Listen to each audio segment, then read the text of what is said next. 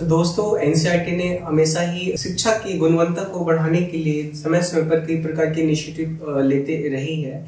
इसी कॉन्टेक्स्ट में recently NCERT ने एक न्यू इनिशिएटिव लिया है, जिसको आज हम समझेंगे वो है होलिस्टिक प्रोग्रेस कार्ड एचपीसी बोला गया है होलिस्टिक प्रोग्रेस कार्ड तो ये क्या करता है? Will measure apart from academic performance child progress in interpersonal relation self reflection creativity emotional application in the classroom so अभी तक तो हमारे पास रिपोर्ट कार्ड होता था जो हमारी एकेडमिक परफॉर्मेंस को एनालाइज करता था बट होलिस्टिक परफॉर्मेंस कार्ड ना ही बल्कि एकेडमिक बल्कि इसके अलावा दूसरे जो इंपॉर्टेंट एस्पेक्ट है स्टूडेंट की लाइफ को, उसको भी मेजर करेगा और जिससे होलिस्टिक डेवलपमेंट की इंश्योरिटी की जा सकती है। तो HPC will have been divide by under the Prakhar जो है performance assessment review And analysis of the knowledge for holistic development. Prakhar एक important initiative है overall development of students by the NCRT and it is uh, under the NCRT and that focuses on foundational